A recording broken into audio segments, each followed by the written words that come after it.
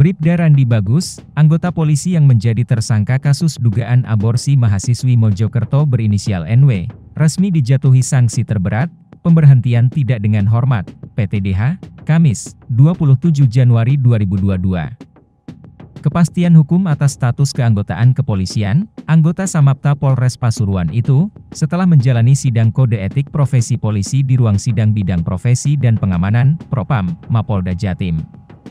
Bribda Randi Bagus terbukti melanggar KEPP, yakni pasal 7 ayat 1 huruf B dan pasal 11 huruf C, Perkap nomor 14 tahun 2011 tentang kode etik profesi Polri. Kabid Humas Polda Jatim, Kombes Pol Gatot Repli Handoko mengatakan, dalam waktu dekat pihak bidang Propam Polda Jatim, segera melengkapi berkas pemberhentian Bribda Randi Bagus. Dinyatakan dengan keputusannya adalah PTDH, dan kami tinggal lakukan proses administrasi pemecatannya, kata Kombes Pol Gatot Repli Handoko di depan ruang sidang Propam Mapolda Jatim. Hasil keputusan sidang Komisi Etik Profesi Polisi yang dijalani Bribda Randi Bagus, sejak pukul 9 hingga pukul 12 WIB, ternyata juga menggali keterangan 9 orang saksi mulai dari anggota keluarga NW, kemudian anggota keluarga Bribda Randi Bagus, dan beberapa rekan Bribda Randi yang bertugas di Samapta Polres Pasuruan. Sekadar diketahui, Bribda Randi Bagus telah ditetapkan sebagai tersangka atas kasus dugaan tindak pidana aborsi pada Sabtu, 4 Desember 2021. Pemuda 21 tahun itu, terbukti terlibat dalam upaya aborsi sebanyak dua kali atas kehamilan yang dialami pacarnya, NW, pada Maret 2020 dan Agustus 2021.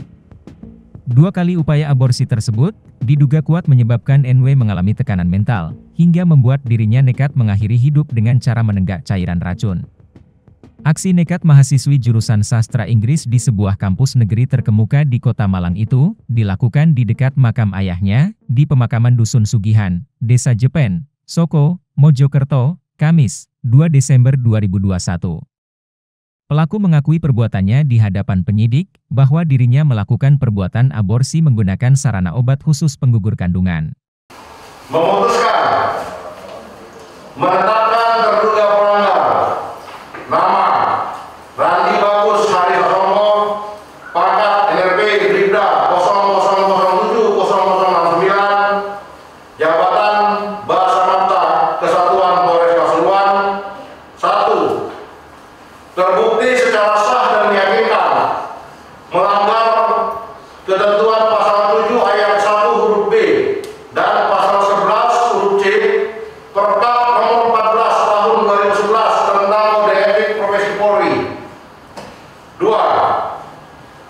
Vengador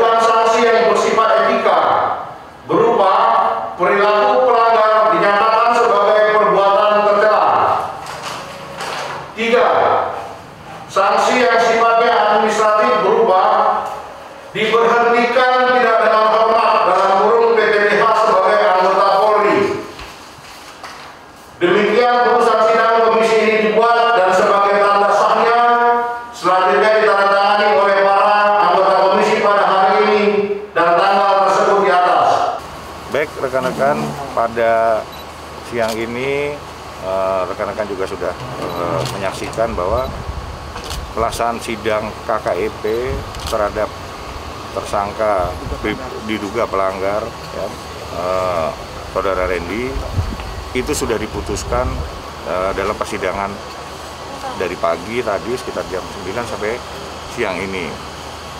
Dari pemeriksaan terha- eh, terhadap 9 saksi yang dihadirkan oleh eh, Bipropam Polda Jatim. Dinyatakan jelas saudara Duka Randy bersalah. Yaitu dia jelas melanggar pasal 7 ayat 1 huruf B dan pasal 11 huruf C Perkap 14 tahun 2011 tentang kode etik eh, profesi Polri. Dan sudah dinyatakan hasil putusannya adalah PTDH. Ini kami tinggal melakukan proses untuk eh, administrasi eh, pemecatannya. Eh, proses pidananya, ya pidana umumnya yang ditangani oleh eh, penyidik di Reskrim Um Polda Jatim.